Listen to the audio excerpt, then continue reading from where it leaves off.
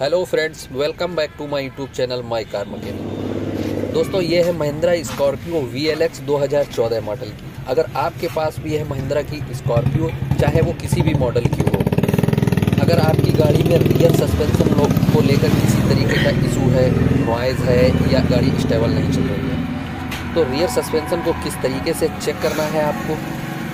तो सबसे पहले आपको करना है गाड़ी को स्टार्ट और आगे के दोनों टायरों में फंसा देनी है हमको ईट ताकि गाड़ी हमारी आगे को ना पड़े उसके बाद में हमको गेयर लगा के झटके के साथ में गाड़ी उठानी है।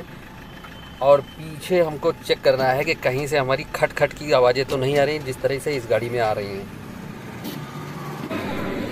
दोस्तों तो इसका खोल लिया है मैंने सस्पेंसन और आपको दिखाएँगे कि इसमें क्या क्या चीज़ें ख़राब हो जाती हैं। किस वजह से इसमें गाड़ी की स्टेबिलिटी ख़राब हो जाती है और आवाज़ें आना शुरू हो जाती हैं।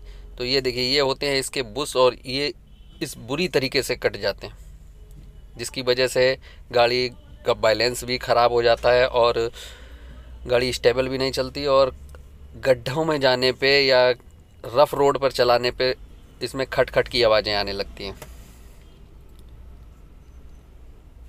तो अगर आपकी गाड़ी में इस तरीके की खटखट की प्रॉब्लम है तो एक बार सस्पेंसन रियर सस्पेंसन को ज़रूर चेक कराएँ। अगर रियर से आवाज़ें आती हैं, अगर फ्रंट से आवाज़ें आती हैं तो फ्रंट के सस्पेंसन को भी चेक कराएँ।